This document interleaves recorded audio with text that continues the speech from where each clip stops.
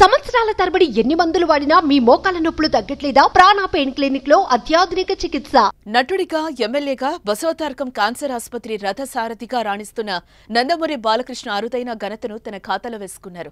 నందమూరి బాలకృష్ణ ప్రపంచ సినీ చరిత్రలో ఓ నట వారసుడిగా అడుగుపెట్టి యాభై ఏళ్ళైంది.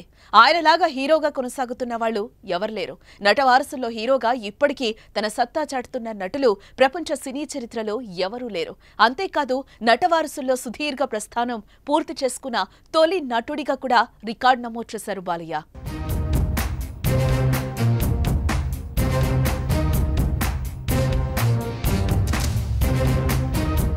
నందమూరి బాలకృష్ణ పంతొమ్మిది వందల అరవై జూన్ పదిన నందమూరి తారకరావు బసవ తారకం దంపతులకు ఎనిమిదవ సంతానంగా జన్మించారు.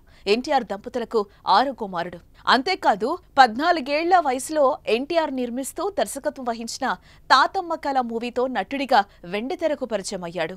ఏ ముహూర్తాన ముఖానికి రంగేసుకున్నాడో ఏమో ఇప్పటికీ అప్రహతంగా నటుడిగా టాలీవుడ్ సినీ ఇండస్ట్రీలో సత్తా చాటుతూనే ఉన్నారు.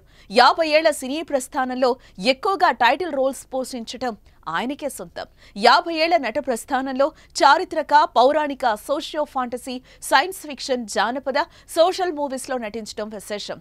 తన తరంలో ఇన్ని జానర్స్లో హీరోగా నటించిన వ్యక్తి మరొకరు లేరు అనడంలో అతిశయోక్తి కాదేమో. బాలకృష్ణ యాభై ఏళ్ళ ప్రస్థానాన్ని సీఎం చంద్రబాబు అభినందించారు. వరుసకు చుట్టమైన చంద్రబాబు తన ఎక్స్ ఖాతాలో బాలయ్యకు శుభాకాంక్షలు తెలిపారు.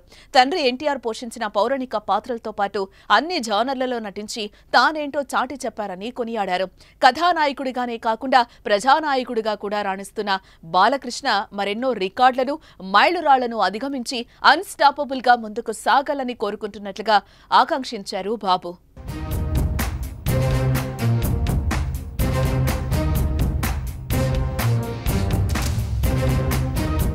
నందమూరి బాలకృష్ణ బాల్యమంతా హైదరాబాద్లోనే గడిచింది. తండ్రి ఎన్టీఆర్ కోరిక మేరకు నిజాం కాలేజ్లో డిగ్రీ పూర్తి చేస్తూనే నటుడిగా సినీ కెరియర్ కొనసాగించారు.